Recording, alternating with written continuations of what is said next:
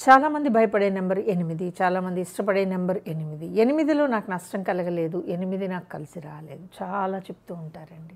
దీని వెనకాల రహస్యం చెప్తాను మీకు. ఎక్కడ విపరీతమైన కాన్ఫిడెన్స్ ఉంటుందో అక్కడ ఎనిమిది ఉంటుంది. ఎక్కడ విపరీతమైన కోపం ఉంటుందో అక్కడ ఎనిమిది ఉంటుంది. ఇవి రెండు ఉంటాయండి. ఇలా అవుతుందని నీకు ముందే చెప్పాను కదా? నేను ఎప్పటి నుంచో చెప్తూనే ఉన్నాను కదా? నువ్వే వినలేదు నా మాట. అనటం ఎనిమిదికి మాత్రమే తెలుసు. ఇది ఇలాగే జరుగుతుందని నేను చెప్పాను అని అనటం కూడా ఎనిమిదికి మాత్రమే చెల్లుతుందండి. ఇది ఎనిమిదిలో ఉన్న లక్షణం.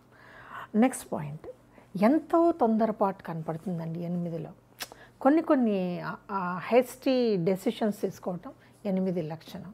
తర్వాత తిరిగ్గా ఆలోచిస్తారు బాధపడతారు. కానీ జరిగిపోయిన దాన్ని వెనక్కి తేవటం ఏ నెంబర్ లక్షణం కాదు కాబట్టి ఒక విషయం జరిగిపోయిన తర్వాత మీరు దాన్ని వెనక్కి తేవడం కానీ అది ప్రాపర్టీ కావచ్చు మనీ కావచ్చు మీ మంచితనం కావచ్చు మీ హెల్ప్ కావచ్చు.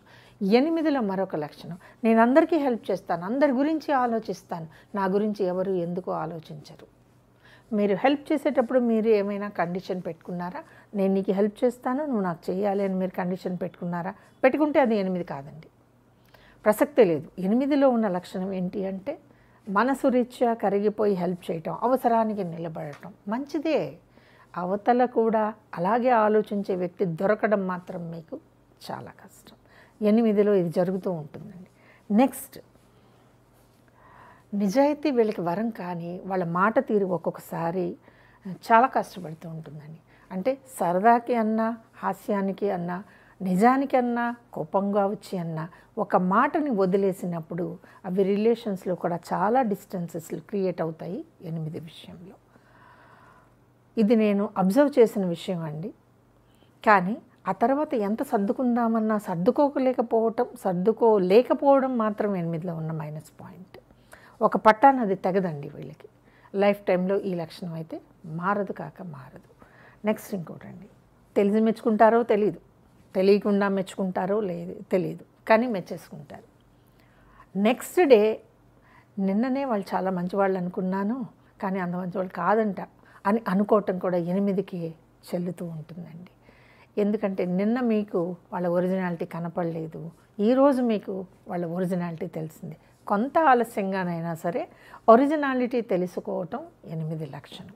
ప్రాణం ఇస్తుంది ప్రేమిస్తుంది అభిమానిస్తుంది ఎనిమిదిలో లక్షణాలు అయితే శత్రుత్వం కూడా అదే స్థాయిలో మెయింటైన్ చేయడం ఎనిమిది లక్షణం. డబ్బు విషయంలో పెద్దగా ఆలోచించదండి. కడుపులో ఉన్నదంతా తీసిస్తుంది. కానీ అవసరం వచ్చినప్పుడు పాపం ఎనిమిదికి దొరకవండి. ఇది ఎనిమిదిలో ఉన్న లక్షణం. కొన్ని కొన్ని విషయాలు అలాగే ఉంటాయి. మంచి పొజిషన్కి ఎనిమిది వెళ్తుంది. కానీ ఇలా హెల్ప్ చేసి కింద పడిపోతూ ఉంటుంది. అన్నీ తానే చేస్తుంది. తనకి కావాల్సి వచ్చినప్పుడు ఒక్కళ్ళ దగ్గర నుంచి కూడా సహాయం రాకుండా ఈ ఎనిమిది ఒంటరిగా చేసుకుంటుంది చూసారా? అది ఎనిమిదిలో. మరి గొప్పతనం అంటారో లేకపోతే అన్నీ పడి తెలివితేటలు నేర్చుకుందంటారో నాకు తెలియదు బట్ ఎనిమిదిలో ఈ లక్షణాలు మనకి సొసైటీలో చాలా కనబడుతూ ఉంటాయి. ఇక్కడ ఒక్క విషయం మాత్రం గుర్తుపెట్టుకోవాలండి. ఎనిమిది కష్టపడుతుంది. కష్టంలో ఉన్నవాడిని చూసి సహాయం చేసేస్తుంది. ఆ కష్టం తిరిగి మళ్ళీ తనకి వచ్చినప్పుడు ఆ కష్టం కూడా తనే తీర్చుకుంటుంది.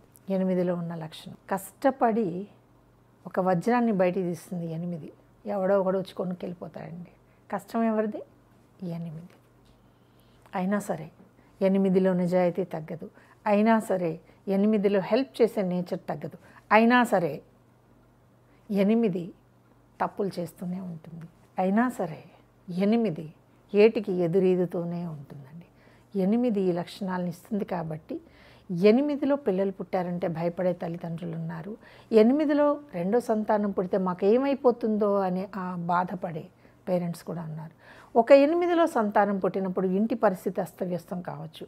బట్ ఇంకొక ఎనిమిదిలో రెండవ సంతానం పుట్టినప్పుడు ఆ పరిస్థితి మొత్తం చక్కదిద్దబడుతుంది. ఇక్కడ ప్లేస్మెంట్ అంటారండి. ఎనిమిది మీకు ఎలా ఉంది? మీరు ఎనిమిదిలో పుడితే ఎలా ఉన్నారు? మీరు ఎనిమిదిలోనే పుట్టారా? అది కాకుండా పదిహేడు ఇరవై ఆరులో కూడా పుట్టారా? మరి పదిహేడు ఇరవై ఆరు కూడా ఇలాగే ఉంటాయా? డిఫరెంట్ అండి. సో ఎనిమిదిలో అష్టైశ్వర్యాలు ఉన్నాయి.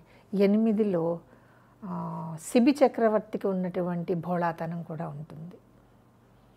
ప్రతి విషయాన్ని మంచి కోసమే వాడే ఎనిమిది ఉంటుంది. ప్రతి విషయాన్ని కన్నింగ్ కోసం వాడే ఎనిమిది కూడా ఉంటుంది. ఎనిమిదిలో ఏదైనా సాధ్యమే. ఎనిమిది అర్థం చేసుకోవటం సాధ్యమైతే ఎనిమిది బ్రహ్మాండం. అర్థం చేసుకోలేదా? మీకు ఎనిమిదిలో దొంగలే కనపడతారు. ఎనిమిదిలో అబద్ధాలే వినపడతాయి. ఎనిమిదిలో మోసమే కనపడుతుంది. మంచి నెంబరా? కాదా?